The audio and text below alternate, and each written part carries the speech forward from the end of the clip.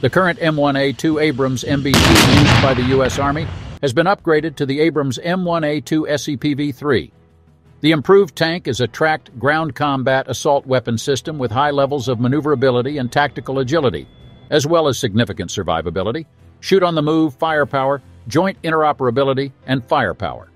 One 120mm smoothbore M 256 gun is the M1A2 SEPV-3's primary weapon. A low-profile Crow, common remotely operated weapon system, will be installed on the tank.